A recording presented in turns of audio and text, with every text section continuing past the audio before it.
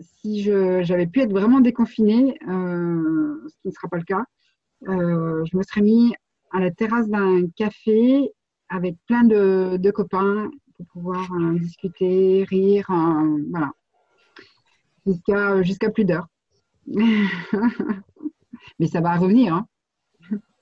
Première chose qui me vient moi à l'esprit au sortir de cette période, c'est d'aller manifester. Donc, euh, je sais pas encore où. Je sais qu'il y a des mouvements qui se mettent en place, notamment à l'initiative des soignants, qui en ont pris plein la figure là pendant deux mois. Et euh, voilà, on verra comment ça se passera, dans quelles conditions. On fera attention évidemment, mais euh, je pense qu'il y a une grande période de mobilisation qui va s'avérer nécessaire dans les prochains mois si si on veut pas que bah, la période qui suit le confinement ressemble au confinement.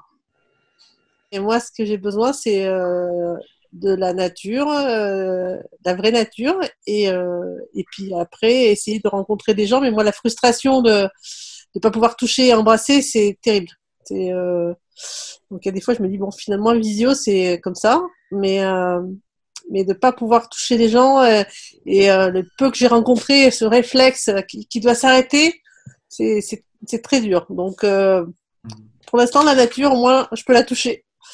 Et ce sera moins frustrant que de ne pas pouvoir embrasser les gens que j'ai trop envie de voir. Quoi. Alors moi lundi, je commencerai euh, toujours en visioconférence parce que et toujours avec Canopé parce qu'on a une réunion de prévention de carte d'autonomie qui va continuer à se passer en visioconférence. Et juste après, je crois que mon premier réflexe ça va être de regarder la météo pour savoir quand est-ce que je vais pouvoir aller faire la randonnée. voilà, pour sortir de chez moi, faire euh, voilà, aller faire un peu d'exercice physique euh, et profiter de la nature gersoise. Euh, donc lundi, je vais m'inscrire sur un site de rencontre.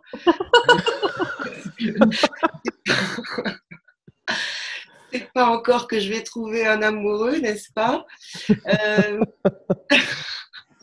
C'est plus fort que moi, je ne peux pas m'en empêcher. Euh, lundi, je vais continuer de cultiver la joie comme je le fais chaque jour et je vous en souhaite autant.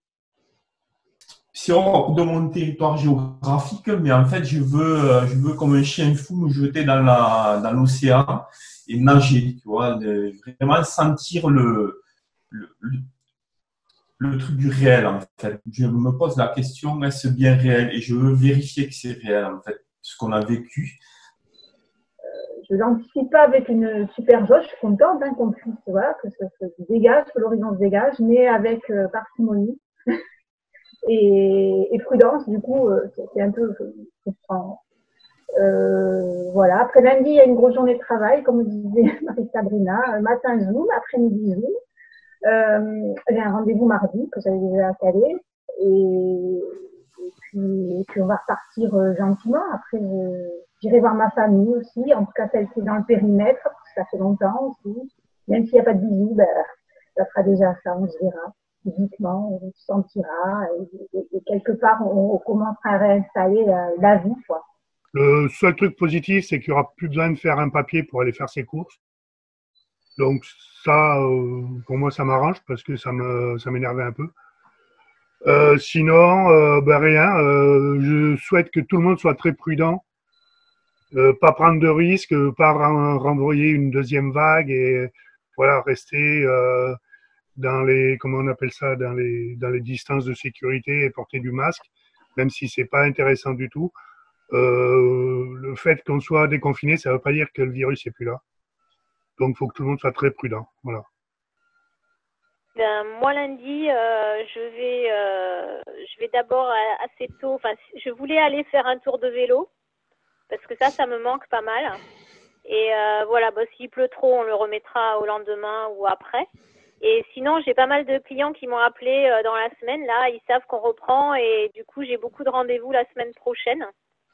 Donc, ça va être une semaine très très chargée comme les collègues, euh, j'ai hâte de ne pas remplir ce papier pour pouvoir bouger. Euh, j'ai envie de prendre ma voiture hein, et de sortir de la maison. Il y a des copines par là euh, qui sont disponibles d'aller passer un moment avec. Et j'ai aussi rendez-vous avec une mamie qui m'attend depuis deux mois. Donc voilà, ça va être bien. Ben, comme chacun avec le masque, hein, pas possibilité de lui faire un bisou alors qu'elle est en attente de ça.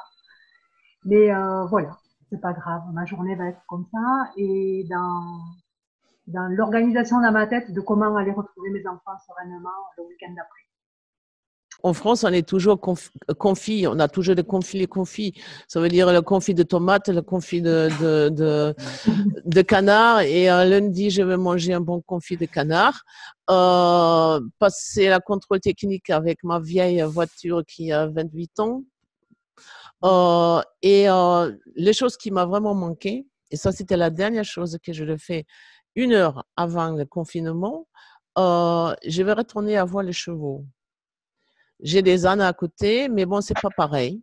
Euh, et ça, c'est quelque chose qui m'a qui m'a manqué pendant euh, ce, ces jours de confinement. C'est pas vraiment pour monter, c'est juste pour pour voir les chevaux.